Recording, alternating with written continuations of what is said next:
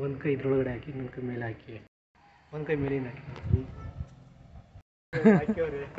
ಬಿತ್ತು ಅಂದ್ರೆ?